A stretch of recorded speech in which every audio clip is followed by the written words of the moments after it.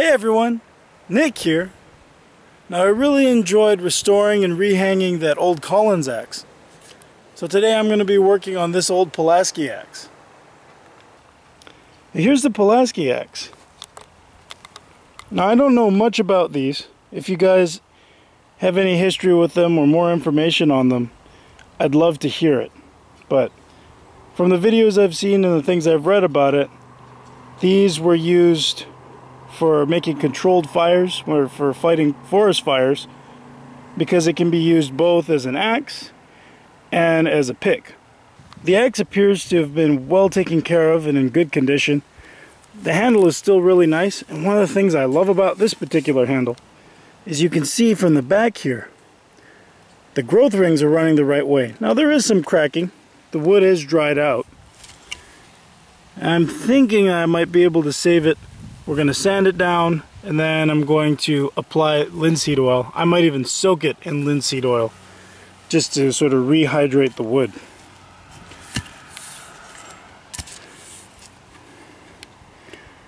The axe head looks to be in good condition.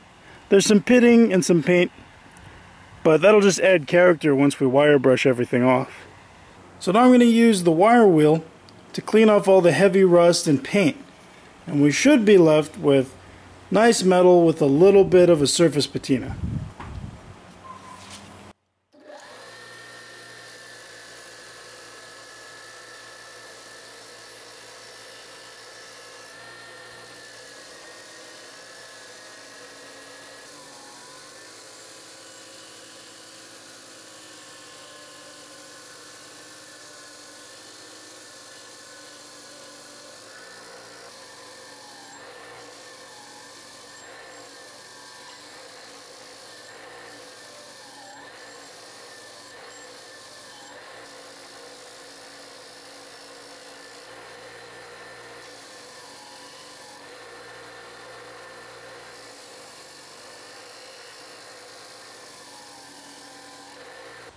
Here's the axe head after the wire wheel.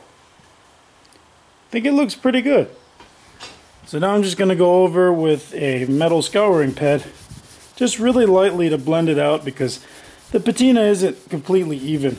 There was some paint on here so it's a little splotchy.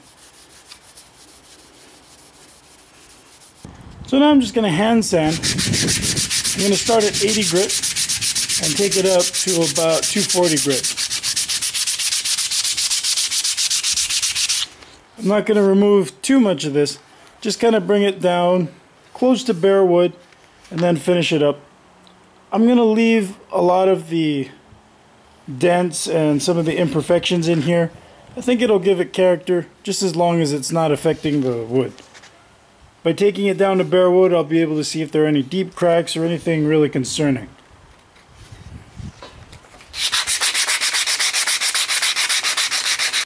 So here it is after sanding to 240 grit. The handle's actually really solid. Aside from a small crack, let's see, right here, which doesn't actually continue all the way down. A lot of what looked like cracks going on in the handle were just surface. So I haven't taken a lot off, but I'm happy with this. So here it is. Now I'm going to apply some boiled linseed oil. So now I'm applying some linseed. So now I'm applying some boiled linseed oil to finish up the handle. Look at that. You can still tell that it's old. I didn't take too much off the surface. And it has a nice rich, almost like a honey color. Really like how that's looking. And here's the handle all finished up. I really like the way this turned out. It's got beautiful grain. It's a really nice handle. I'm not sure if this is how the wood was when it was new or if it's darkened over time, but the color of the handle really works well with the axe head. So now that the handle work is done, I'm going to go ahead and sharpen up the axe. Here's the Pulaski axe all finished up. I'm really happy with how it turned out and I'm glad I made the decision to leave it a little on the rough side compared to the Collins axe which looks practically brand new, this one still looks like it's old. It's a lot nicer, it looks better, but you can tell that it's an older tool and it's been through quite a bit. So there it is.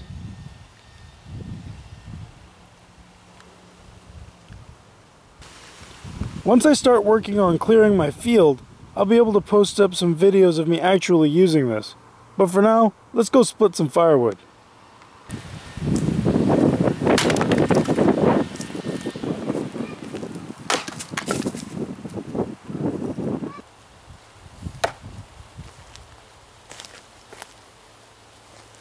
So here it is.